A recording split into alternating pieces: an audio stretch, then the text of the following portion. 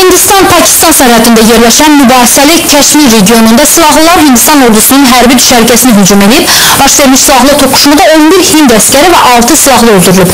Mübahisəli ərazi sayılan Kəşmirdə fəaliyyət göstərən silahlı qruplar vilayətin Pakistana birləşdirilməsi üçün 1989-cu ildən bəri Hindistan hökumətinə qarşı mübarizə aparırlar. Həmin vaxtdan baş verən hücum və əməliyyatlarda 68 mindən çox insan həlak olub.